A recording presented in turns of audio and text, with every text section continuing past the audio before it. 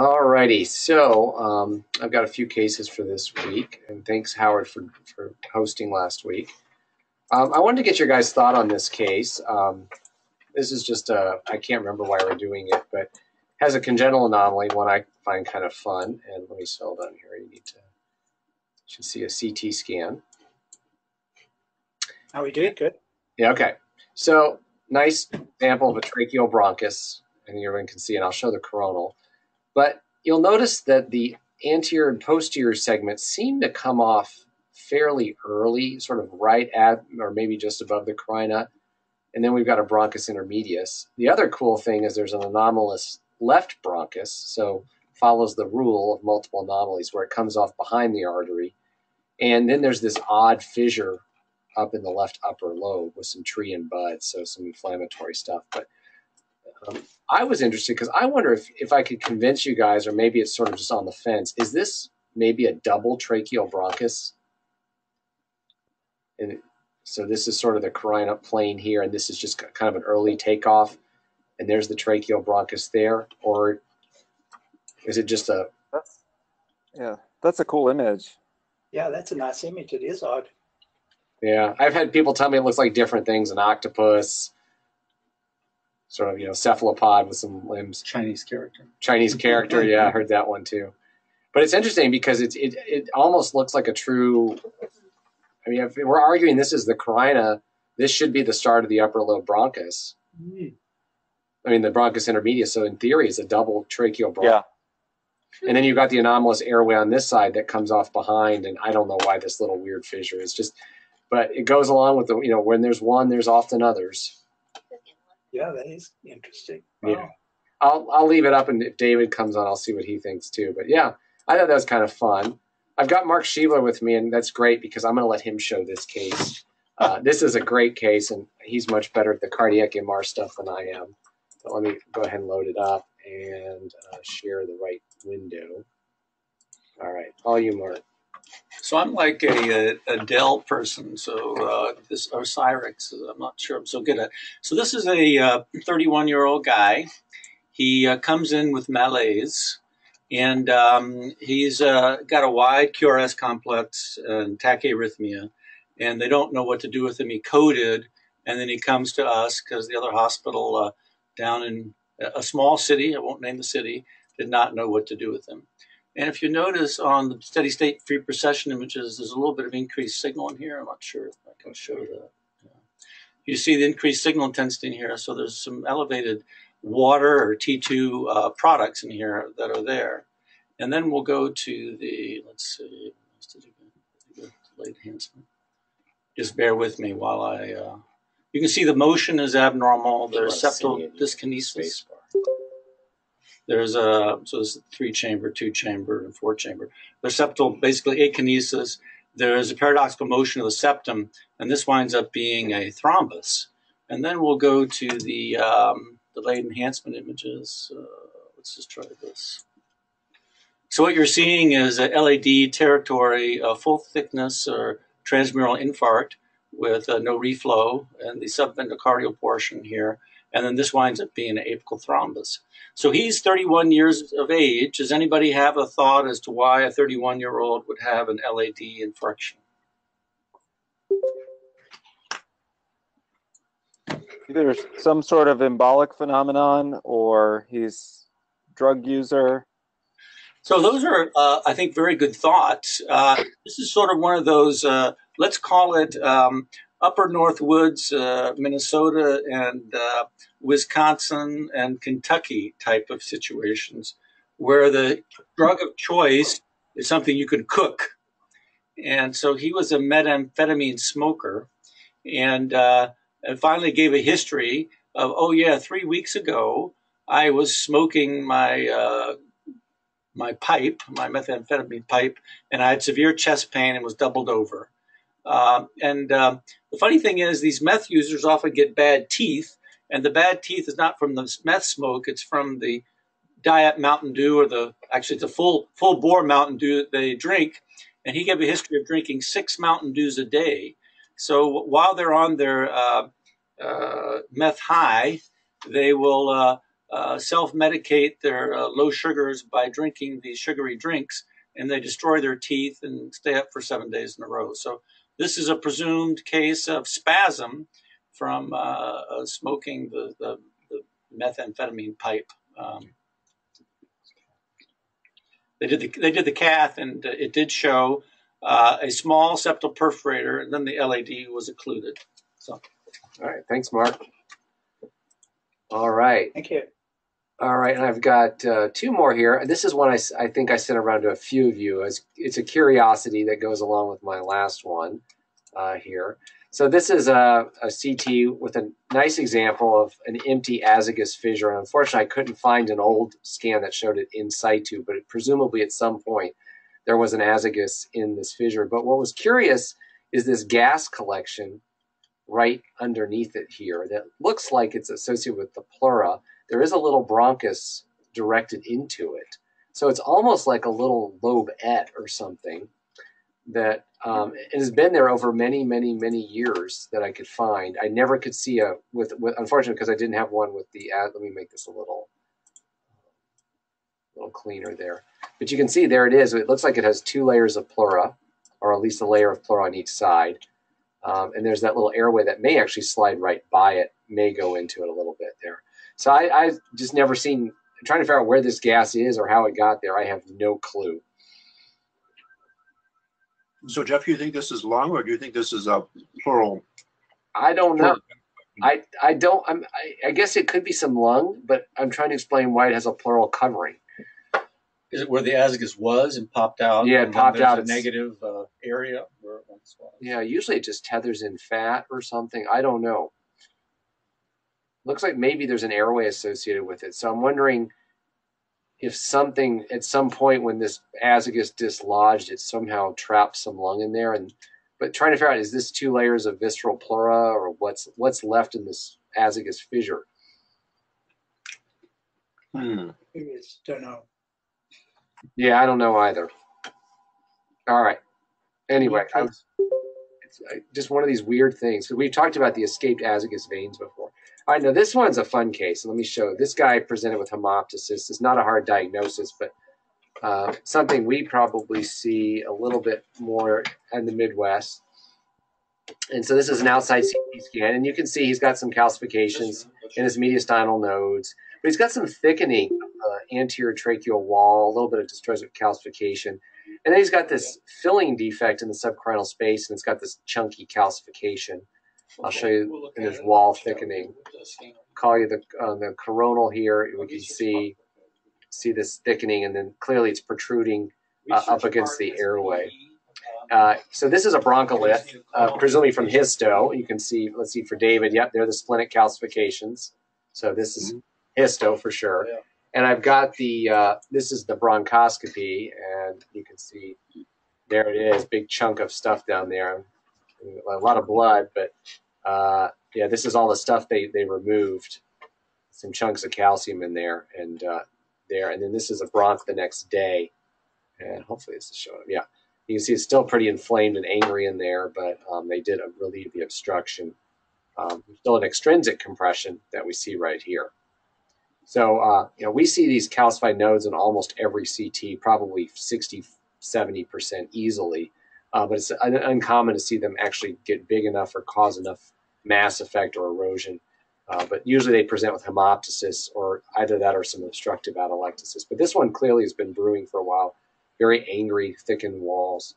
Um, and they just, they can't usually remove the whole thing, but they go in and clean out the airways uh, using uh, mechanical. They can use laser um, to, to deal with this. So Wow. with pre and post bronch images. And uh, that's what I have for the week. So who would like to show the next set of cases? I have uh, two two quickies. All righty. Okay, so this man presented with um, 10 days of chest discomfort. Uh, it was pretty bad. He was treated in an outside emergency room for seven days with some anti-inflammatory. I think he was put on Tylenol or ibuprofen or something like that. And um, he finally developed a fever and a shaking chill. And uh, he came in with this radiograph here with multiple fluid levels and this lateral pleural stripe. And on CT, he has um, loculated pleural fluid collections with gas. And this is before any instrumentation. So there's not been any introduction of air caused by um, doctors. He's got very nice pleural thickening and enhancement here. So it's clearly an inflammatory thing. And this has been going on at this point for about 10 days. And I think we can actually see the entry of gas from the lung into this. So I think we can track back these little gas collections um, from the pleural space here back into central airways. And we can make the whole pathway of gas getting into this pleural space through a bronchial pleural fistula right about down here, I think. So visible bronchial pleural fistula allowing gas to get into the pleural space. And the organisms that were, um, this man has a history of GERD and he's on omeprazole. And the organisms they cultured out of this were um, Campylobacter rectus and a Fusobacterium species. So these are both aspiration organisms. And the interesting thing about Campylobacter is it's associated with eating contaminated meats like, like poultry, but it can also be from contaminated water. And most Campylobacter is killed by gastric acid. And this fellow was on being on omeprazole was suppressing his gastric acid, and that may be one reason why his Campylobacter, you know, infection um, wasn't quenched. Um, on the other hand, you know, this stuff probably got into his lung, bypassing his stomach, so maybe you don't need gastric acid in your lung to to stop you from getting Campylobacter. But it's the first time I've ever heard of a Campylobacter empyema like this. So very classic bronchial pleural fistula, I think, with a visible connection and unusual organism in this case. David, you know, it's interesting. Look how hypertrophied the extrapleural fat is on the right. In just, you said it was only about 10 days because I usually think of that as a sign of chronicity, like TB or something that's been smoldering for some time. But that's a striking amount of extrapleural fat. I agree. Yeah. I think everything's being pulled in by this pleural process here. Notice the mediastinum is also rotated in that direction a little bit. So I think there's a lot of traction on this fat, and that's probably one of the reasons why it's um, thicker than than than it is on the other side. You don't really see It doesn't look particularly. It doesn't look particularly infiltrated though. It's not as strandy as it often is with the inflammation. Yeah. Okay, and um, this other case, let me switch gears here. Um, this is a, um, I'll show you later in the course of this. Well, um, this is a woman with uh, sickle cell anemia who uh, was admitted with an acute chest syndrome. And this is one of the more dramatic cases I've seen. this is about her last radiograph before she died. So she's got this diffuse lung disease. If we back up to her baseline state, here's um, here's an earlier set of radiographs to show you how bad she was at, at baseline. So low lung volume, sort of diffuse, busy looking lungs, dirty looking lungs, probably from remote small infarctions and infections. Cardiomegaly, she had pulmonary hypertension and um, and cardiomegaly. She had had she has an SVC stent because of occlusion. She's got a lot of bone sclerosis, so sort of a classic chronic sickle pattern. And then she was admitted in February, and um, her radiograph began to cloud up. And so day by day, she got more and more lung stuff. They did, you know, aggressive um, trying to resuscitate her and clear out this. They considered exchange transfusions and all that, but the course was downward and she had renal failure and everything like that, and then died. And at post-mortem, um, they found diffuse alveolar damage. They found um, small uh, infarctions in the lung, probably from in situ thrombosis. And they found some bizarre uh, calcifications out along pleural surfaces. And so I wanted, uh, I've asked the pathologist to go back and look at those calcifications and try to help figure out what they are because I've seen these and now I think this is the third or fourth sickler that I've seen this kind of calcification, which at first blush looks like dendriform pulmonary ossification. but it's really different, I think, in its distribution. So look at these calcific nodules along pleural surfaces in the bases here on both sides. So these were described as lung nodules on the, by, by the, the first pathology that I have back um, along these pleural surfaces. And look how extensive it is out here. And this is non-contrast uh, CT, so we're not seeing, you know, vascular opacification here. This is calcification, seems to be in the lung against pleural surfaces. I've seen clumpy calcifications like this in lower independent parts of the lung before in, in other sicklers. This is my first chance to actually have path of what this is. So I wonder if you guys have ever seen this before. I, you know, I wonder what is causing this. I asked our pathologist to tell me, is, is this just calcification or is this uh, ossification by any chance? Could this be something related to DPO? Now, this person has, you know, a complicated medical history. There was hemochromatosis of the heart and liver on the autopsy findings. There was renal failure. Kidneys are normal in size here. And it's possible, I think we have to consider that this might be some unusual pattern of renal, um, you know, metastatic calcification in the setting of renal failure, but I've never seen it in this distribution before. So I wonder if you guys have seen calcifications in sicklers that might be related to the sickling process perhaps to small vascular occlusions or something like that, and ultimate calcification to platelets turning, you know, attracting calcium or something like that. Has anybody seen anything like this before? No, I haven't. Never seen that either live or in a book, even. Not that I recall. No, it's striking because it looks like the spleen does with with its auto infarction there. Yeah. I, so I think some sort of infarction is probably the best way to to parse this and maybe that maybe the vessels are really tiny uh, the capillaries you know we're at, at the end of capillaries when in subpleural regions like this and therefore if there's thrombosis um, the thrombus could lead to in situ thrombosis it could lead to calcification so i'll see if the pathologist can contribute anything when they look at these uh, calcified nodules in more detail But I think we all probably agree it doesn't look like the typical dendriform ossification.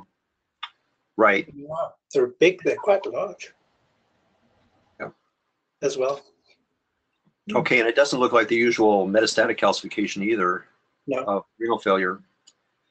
Okay, well, maybe we'll get some pathologic insight. I'll pass on. So those are the two cases I wanted to show.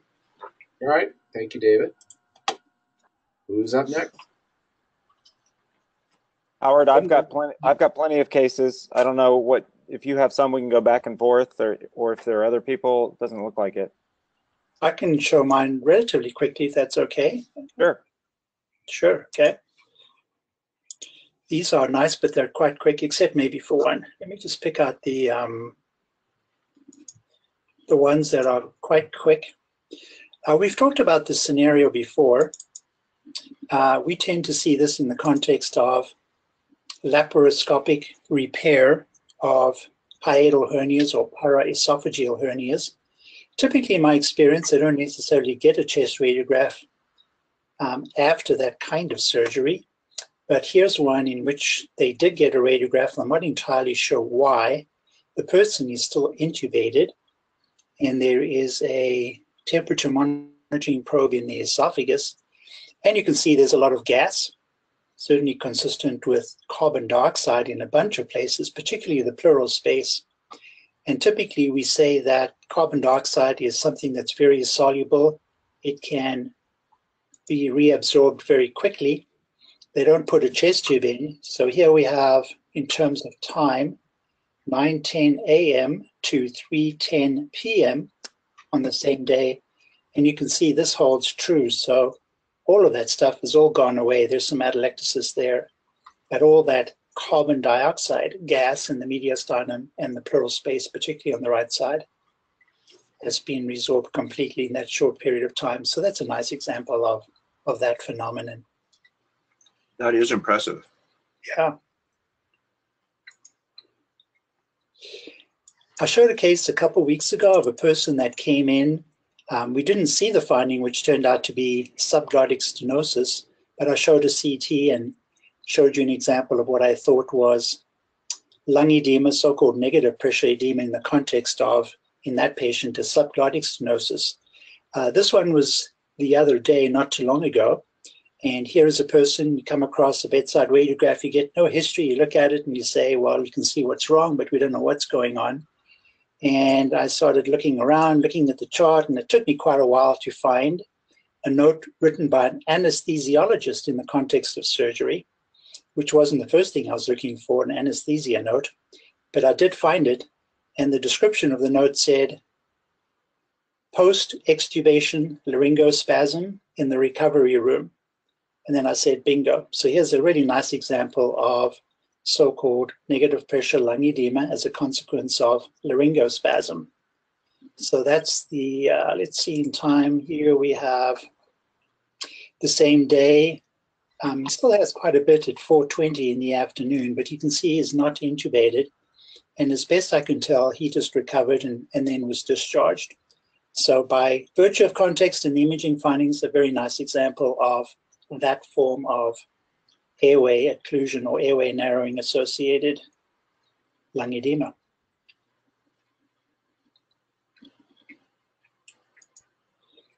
Here is a nice example of something I've showed before. Um, unless you kind of know the context and look really carefully, you'll go right by this. So this is a pacemaker, and I'm not quite sure what made me perhaps more than usual. Usually what I do when I look at these particularly for a particular cardiologist, I start zooming up like this and looking for something in particular. So this is subtle, so I'll put up the lateral. And if you were to sort of look at it like this, um, you wouldn't see very much. So you have to really zoom in. And if you do zoom in, then you'll see this. So this is a really nice example of so-called externalization of a Riata, that's the brand name, or IATA, externalization of a Riata lead that needs to be replaced. So this is a known complication of this particular pacemaker lead. And if you get the history, then you're going to have to mag in and hope there's not too much motion of the lead so that you can see this. So right here is the place where it's externalized, so-called, and these need to be replaced. So a nice example of that.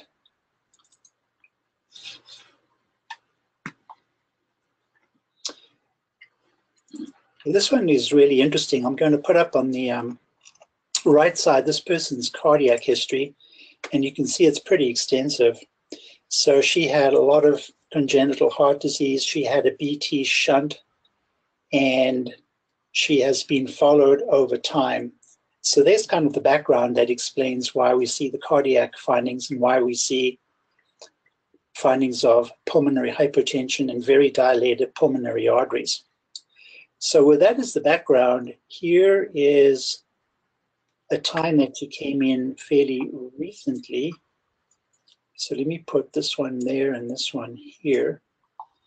And you can see here is from last year and more recently that we have massive pulmonary arteries, but she has new opacity in the right lower lung.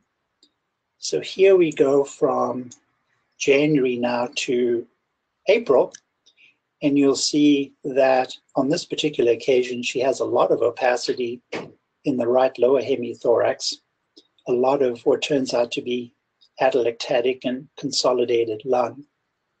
Here is an image in terms of the timing of things, 4-3, sorry about that, compared to 4-4.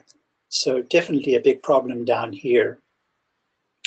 Now let me show you the CT from September of 14, which I have for comparison, with the CT that was done here. This was done without contrast. And actually, I wasn't, when I started looking at this, I wasn't quite sure why they did the CT because they didn't provide any history. And it took me a while to, to figure out what to sort of look for. So let me just show you this. The image that shows the finding is right here. So in relation to the bronchus intermedius, then and now. So for timing again, July of 2014 and April of this year, notice how big the pulmonary artery is and know, see how compressed that bronchus intermedius is between the huge pulmonary artery and the spine.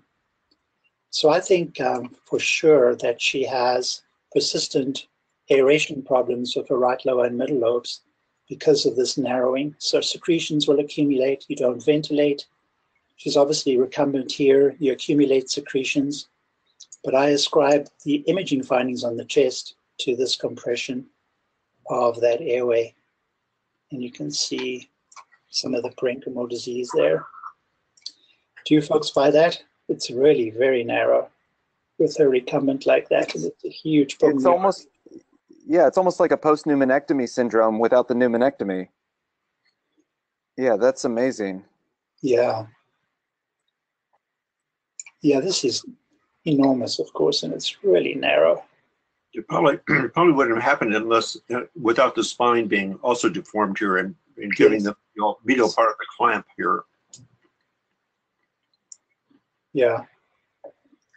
So I saw they deliberated the possibility of a stent in the airway, but it seemed like, given her overall clinical condition, someone decided that at least now she may not derive long-term benefit from an airway stent, and I think that she's otherwise her health's otherwise declining as well. So I think they're in the sort of palliation mode, but I think we understand why she presents with her right lower and right lo- uh, middle lobe disease more recently like that.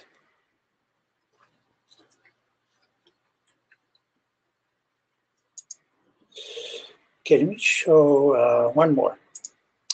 Okay, this is a nice example of cardiac tumor, cardiac disease. You can see how extensive this process is, particularly in the region of the right atrioventricular groove. It is something that looks very infiltrative involving heart muscle. You can see the effects on the adjacent chambers of the heart on that CT and how extensive this process is. And there's some pericardial fluid. So there are some MRIs which turned out to be not that great, so I'm not going to show those. And let me bring up the clinical scenario here. So this turns out to be a diffuse large B cell lymphoma, as you see there. Um, interestingly, they didn't image the abdomen, that is the cardiac folks, before they went in to try to deal with his cardiac, but you can see he's got massive tumor involvement of the adrenal glands, and I'm trying to remember if he had nodal disease elsewhere, which he turned out to have. So this is extensive lymphoma with involvement of the heart as well. Let's see what it says here. You can see the operative report there. They couldn't really get it out and things didn't go well in general. So EV positive diffuse large B-cell lymphoma with substantial cardiac cellular infiltration. Yeah, you can see the autopsy description right there and how extensive it is as well in the upper abdomen as well. Howard, that's a really nice mimic of a an angiosarcoma given the location. And we were whispering in the background here that I was guessing it was going to be lymphoma just because Okay. the because the coronary artery, the right coronary artery is not dilated and hypervascular, you know, because usually the angiosarc will derive its blood supply from Oh, the right coronary artery. So that's And- sort of a sign that um, Yeah, so I don't I don't know if Mark is still on there with Jeff and if he agrees, but that's kind of usually I think about angiosarcs causing you know hyper or, or enlargement of the RCA. Yeah, Okay. It's a good observation, uh, Travis. Uh, I didn't pick up on that. I, I thought lymphoma and angiosarcoma, uh, angiosarcoma first, just by location. But yeah, right. One other thing, um, I can see some small branches coming off the right coronary. Do you typically lose those with an angiosarc just because they're harder masses, or are they often preserved? You can see like the the sinus um, Yeah. artery is nodal artery present. Right, you can see a little conus branch there anteriorly. That's a good question. I don't know. I just think of those. I, I just remember that the most of the angiosarcs, since they derive their blood flow from the RCA, the, the main vessel will be bigger. I don't know about the side branches. All right, I'll see if I have one readily available. I can download uh, to this computer, and we can see it with an angiosarc. See if we can see that. Okay. All right, those are my cases for this week. All right, thanks, Howard. All right, Travis. All right.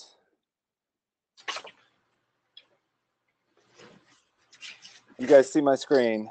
Not yet. How about how about now? Do you see anything? Mm, Nope. I do. Now I do things, sorry. Okay. All right. Well, I'm going to start with a case. We've we've had a lot of interesting stuff this week, and this is one. I'm going to start with the old abdomen and pelvis CT, and this is. I always tell my residents and fellows go digging back to the original presentation because you never know what you're going to find. This is a guy that presented with flank pain, left upper quadrant flank pain, and he has this large left adrenal mass, and you can see that there's some high attenuation and presumably hemorrhage. And you would first guess that this is a pheochromocytoma, or sorry, um, uh, adrenal cortical carcinoma, maybe a pheo. Um, but it turns out that this gets very interesting when you look at his lungs, and I'll show you in a second because this is this is coming from his adrenal gland, and uh, when you and he had been given a diagnosis before of emphysema, which everyone on here that is familiar with cystic lung disease recognizes this is not emphysema. And of course, this is a great look for Birt-Hogg Dubé. You can see these little fissural and subpleural kind of ovoid cysts, you know, not that many in number. And this is this is the follow-up study I saw. So this was a restaging exam, and now he has a little bit, you know, a few more cysts, but this is a, a classic look for Birt-Hogg Dubé. And what was confusing was that it was an adrenal and not a renal tumor. And I went digging in the pathology, and you'll see that the pathology was that this was an oncocytic adrenal cortical tumor. And then he eventually had a genetics consult, and sure enough, strong family history of pneumothoraces, personal history of four pneumothoraces. He had, as they described, hundreds of skin lesions. And of course, the geneticist was all over this too. And then they did the folliculin gene testing, and he did test positive for a mutation. So I had never seen or heard of adrenal tumors with this. It turns out around the same time there was a paper that was published uh, from University of Michigan where they had an oncocytoma or oncocytic tumor of the adrenal gland also presenting nearly identical in a patient with Birt-Hogg Dubé. So you can get you can get tumors in other in other organs too, but this they go into lists that there are a couple of reports of other adrenal tumors because of course when I saw these cysts, I went back and looked and said, well, this must be a renal tumor that was just you know obliterating the adrenal gland, but it was clearly adrenal in origin. So I just thought this was fascinating, you know, variant presentation of something that we see not infrequently.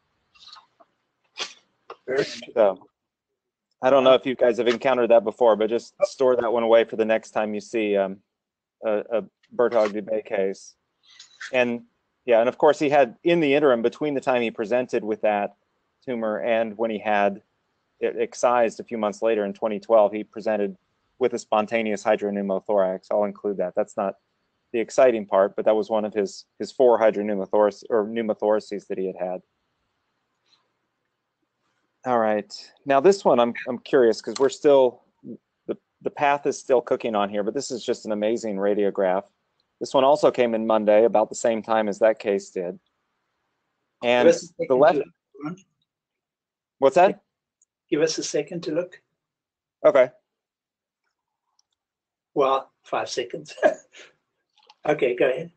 So I think the, I I think most people will immediately jump to the left upper lobe collapse, which I, I think you can. Everyone sees that there's volume loss here, and you kind of have this this veil-like opacity in the left upper hemithorax, and you start to get a little bit of a lift here, not really much of one. But what's interesting and what caught my eye was at least two, three tumors that look to be in the left main stem bronchus here and you know you could see a cutoff here, but then it looked like there's something here and and almost a little pedunculated thing here. What really confused me though was when I looked at the lateral view because this is the left main upper lobe continuum that you can see perfectly, you know, well here. It's not obliterated by those tumors. but nonetheless, certainly thought that this was, you know, there was at least one, if not many masses in that left main stem bronchus. And so this was in the ED. This guy got admitted. He got a, of course, I don't, who knows why they do a PE study for something like this? Because of course they're not. After we tell them there's a big mass and left upper lobe collapse, they're still convinced there's pulmonary emboli or whatever. But but you'll see that sure enough, there's a big mass obstructing the left upper lobe bronchus, and you have complete collapse. And this is probably tumor and some mucus extending out through that bronchus. And then when you go more proximal, you can see multiple other masses in the airways. And the one that's sneaky though and scary is this one in the right main stem bronchus, which I'll show you the radiograph in a second. I think it's because it's overlying midline because of the shift um, that that it's hard to see. So we um, we were we had a bet, some friendly bets for drinks in the reading room on what this was. And it, I was looking through some airway, you know, upping my airway talk recently, and I keep reading that you can get multifocal squamous cell carcinoma of the airway in 10% of cases. I've never seen it. I thought maybe this was going to be a squamous cell. He's got clearly signs of aspiration or just reduced secretions here. And then he had this nodule here. But of course, my, my fellow made two very nice observations, at least we thought at the time, this thing. We thought it, at this point, they said this was a dark lesion on the skin. We thought maybe it was going to be melanoma. This turned out to be a sebaceous cyst. There also looks to be a subtle lesion, big mass in the liver here. Um, but to make a long story short, we still don't know what it is. He got sick really quick though, ended up with complete left lung collapse and was on was on um, Heliox, the the you know the high flow oxygen with the helium to reduce resistance because of this, this had a ball valve effect on his right main stem bronchus too. No history of papillomatosis, and it doesn't really look like a lot of the papillomas we see. I don't know. The um, the other thing that's being whispered from prelim path is there are a lot of small round blue cells, like this could be a lymphoma or or small cell or something, but I don't I don't know. Uh, I don't know if anyone else has any any observations or or suggestions, but I will show you a sagittal view just to show, I think you, you know, you can still see some of the left main upper lobe continuum right here, which I think is what you're seeing on the, on the lateral radiograph, which is why you still see that. It's just that you catch a, a portion of it on FOSS here before you get the abrupt occlusion. Well, no Mhm. good. Yeah, that's prox- that's proximal to the occlusion. Very good point. Yeah, but that was a confusing, uh, you know, quite a striking radiograph, and and I'll update you guys when whenever we get final path. But I thought it was really interesting. What's going on with his aortic arch there? Is there is that aortic arch sort of pinched looking there? Does he have some sort of a You know, I I was going to attribute it to just his his left upper lobe collapse and volume loss. I have no idea. It it does look a little high. you know, what he's got is a straight spine here. His spine is way deep. Uh, can, can Oh. we look at the spine on the, on that sagittal? From his narrow Sure. diameter. The straight your straight back syndrome, David. Well, th- this one's not not straight down below, but it's straight straight above. He's got a narrow he's got a Yeah. narrow diameter up high. Yeah. And uh, the other thing is that this looks like a at this point on the on your lateral view here, it looks as if there is sparing of the lingula. So the lingula is not involved in this collapse at this point. You can see that there's a fissure down below, and Huh. you know, so basically there you know there's this uh, V-shaped thing opacity going up. so I think he's had variable amounts of of left lung collapse at Yeah. the point you know the, and this lateral it may not be the same as what you're showing on CT, but that they were- V-shaped thing is the right upper lobe pattern on the They're left. only, yeah, they're only a they're only a, an hour apart though. I don't Yeah. know. Yeah. That's okay. Maybe some of this is lingula that's still, yeah, that's still got some aeration in it. I don't, yeah. Huh. Right. But, yeah, but really a dramatic radiograph with those airway nodules. And, um, oh, I was going to show the PA view and show, I think that one in the right main stem bronchus is right here, but it, again, that's really hard to see. I think it's a nice illustration of a displaced azygoesophageal recess to the left too. Yeah. So. So there is some preliminary path you said. It's not it's not It's- a melanoma by any chance. No, no, no, it's not because the thing on his skin turned out to be um, just a sebaceous cyst, and he has no other primary. They, there's some rumor, whispers from the primary team of it being small round blue cells, but I, this was just excised on Tuesday or debulked, so I, I don't know yet, but I'll let you know when I do. Okay. Um, This one is more just, you know, it's it's really quite a tragic case and unfortunate, but I think it's it's the story that's kind of interesting with this. And for everyone else tuned in, this is a, a middle-aged man who's 59, lives in the Central Valley, and presented to his doctor back in whenever this was September, with short shortness of breath, cough, had a had a unilateral right effusion, and ended up getting a CT before he had a thoracentesis. And you can see that there's nodular pleural thickening. It's interrupted. I mean, this is a malignant effusion, and there's really no differential, you know, with these pleural masses, or at least I would say it's malignant until proven otherwise. His underlying lung is fine. Uh, they they did a thoracentesis, and it was it was exudative, but they didn't get any cells. And somehow, just because he was from the Central Valley, they they presumably or they presumptively gave him a diagnosis of pleural cocci. And what's really unfortunate, this was his follow-up CT two months later, and the out, outside report actually said, you know, these pleural masses are non-specific, but could be seen in pleural cocci, which I think is false on two fronts because number one, I don't, and hopefully everyone agrees, whenever you see nodular pleural thickening, it's very specific for metastatic or malignancy, either primary or metastatic disease. And uh, but they continued to treat him with antifungals. He didn't get any better. And this is when I saw him, you know, a month ago or less than a month ago. And now he just has a complete pleural rind, still nothing in the lung. And so it was either going to be mesothelioma or Mets from a extrathoracic primary. And the surgeon was going in expecting this to be an empyema based on the reports. And I called him and talked to him, and sure enough, this was all mesothelioma in there. Uh, but you know, the literature will say that thoracentesis, which I think they only did one of, thoracentesis is only somewhere 60, 80, maybe 85% sensitive for malignant effusions. But I don't know. Is there anything else you would put on a nodular pleural thickening differential besides cancer? Because I there's nothing I put on it. TB, except it doesn't look like TB. It's they're too. It's almost too thick. Yeah. So, lymphoma. We've seen lymphoma. Yeah, sure. I would. I guess I would count that as a yeah as, as a malignant effusion, but certainly not. Yeah. Have, but Jeff, how how often do you see nodular pleural thickening with TB? Uh, well, usually it's it's pretty smooth, but can be really a, a thick rind. Fusion, um, unless they get a tuberculous empyema. But um, you know, there's the um, there was a paper published out I think Japan where they looked at uh, pleural lymphoma de- de- developing in patients with chronic uh, empyema, and many of those came from tuberculosis. But you're right. I mean, look at that as cancer until proven otherwise. But right, just like you've shown, you showed that case of peritoneal carcinomatosis. Well, alleged, it ended up being all TB. Right. So let's see. I'm going to keep going unless anybody else wants to. Well, I, I downloaded a few angiosarcs. Um, some I think one is yours. Okay.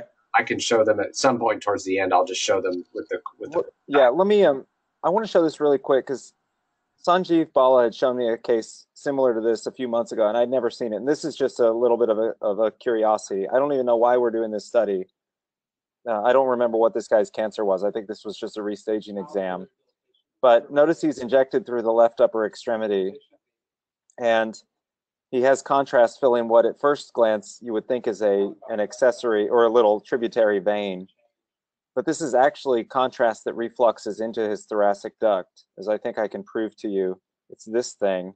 And as you see it, you know, this definitely has the look and the location of a thoracic duct. So he had shown me one where there was a lot of reflux, but I think you can see it all the way down to here. And then it probably crosses and then we lose it a little. But I've been looking, this is the first one I've seen. I probably missed a few, but presumably there's just a valve that's incompetent in this patient that you get the reflux of contrast into the thoracic duct. But it's a nice illustration of just a reminder of where the thoracic duct actually communicates with the venous system. Have you guys looked for this or noticed this before? So I think it's kind of cute. Start looking now. Now that you know it, I probably have missed it many times. yeah, I well, I, I probably have too. I had never really thought of it before. I mean, the only the only time I look at the thoracic duct, or, or the time I think about it most, of course, is when patients have retroperitoneal lymphadenopathy and you're looking for like a Virchow's node or something. But I thought this was just a cute example of that. You would you might see it in patients with an SVC syndrome with a left injection where you got you don't have time for collaboration. Yeah. That'd be interesting to look at those. I don't know. Keep an eye out for it. I will. We'll put a, yeah. So the, he didn't have any narrowing more proximally than that brachiocephalic vein or anything like that that would have promoted this. No, it No. looks like caliber all the way. Yeah. It's just uh yeah, just is, is refluxing into his thoracic duct. All right, Jeff, let me show one more really quick because it's it's pertinent to what we've been talking about. And this is one I saw, I don't a day or two ago, the VA. And this is I don't remember why this patient is is hospitalized, but he's got a radiograph, he's got small effusions, and then on the left side he's got this peculiar band of atelectasis and you get a little bit of loss of the left heart border here.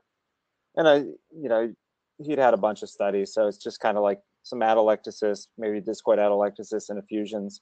But I saw this um, this CT yesterday. And I thought this was really cute because he, he had recent abdominal surgery. I think is why he was in the hospital, and they're just he's dyspneic and they're looking for PE.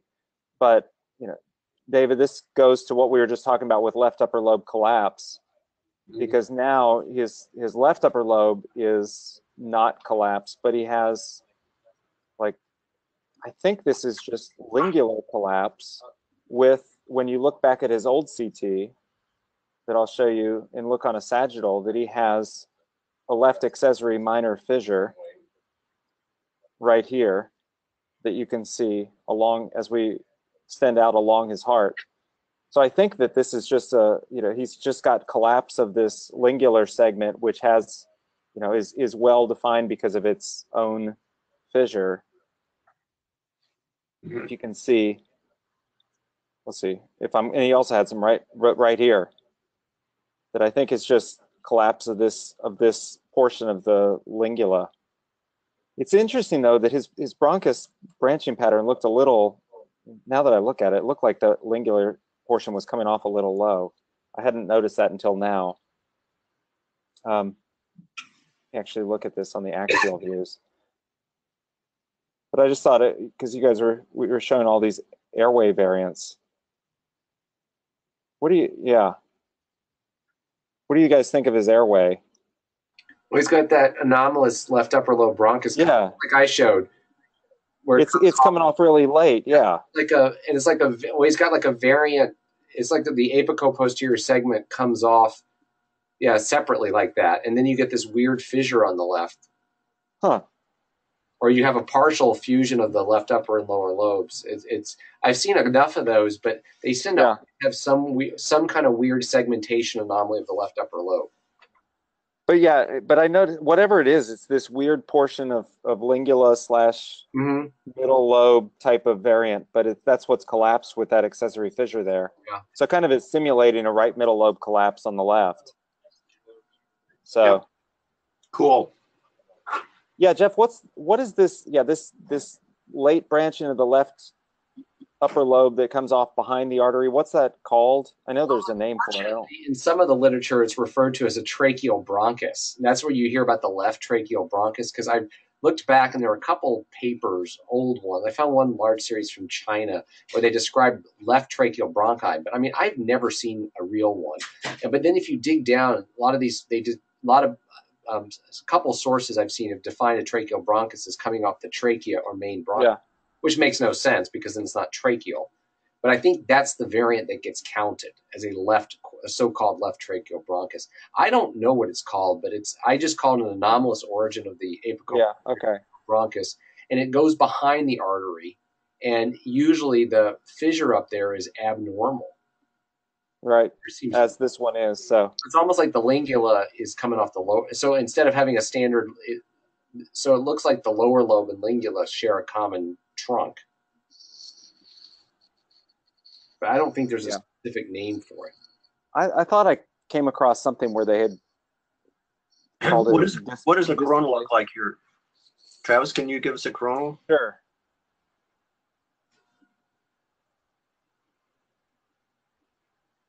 Yeah, it's just a really long left main. So, yeah. And then this is like the apico-posterior segmental bronchus here. Mhm.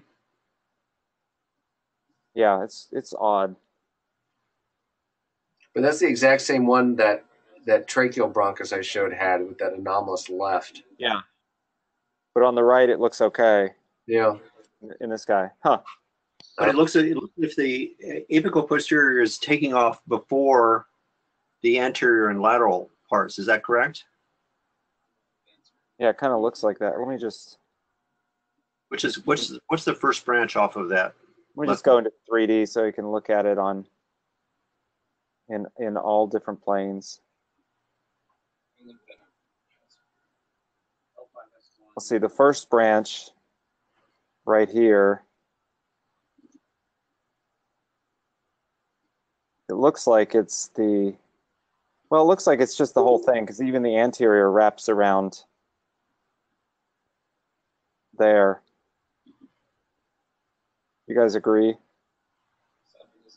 Yeah. I mean, it looks, yeah, there it goes. And then, then you get what looks like a normal bifurcation, but you just have the lingular branch. Is there even, Right. is there an, is there an anterior segment?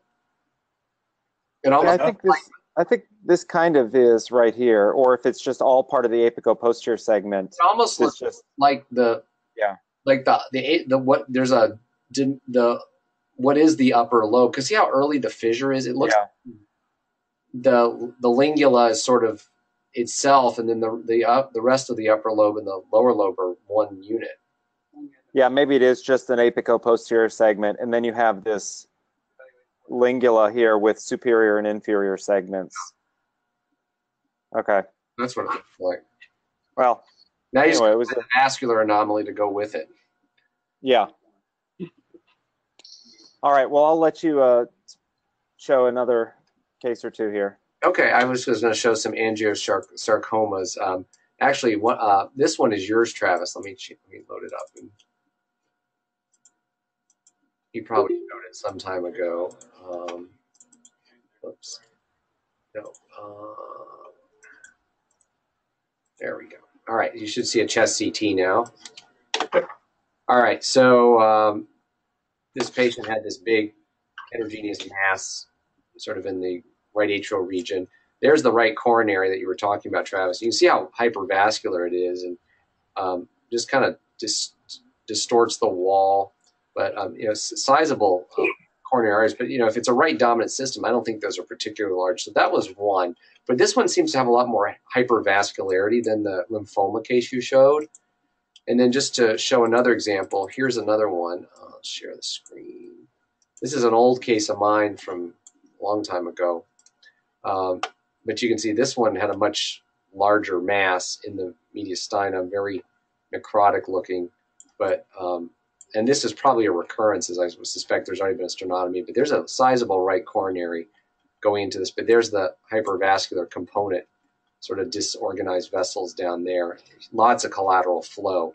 So I think that was also helpful. And then you can see he's got lung mets at the time here. So all right. Well, uh, I think time's up. So um, uh, we will continue next week. Thank you. All right. Bye, everybody. Goodbye.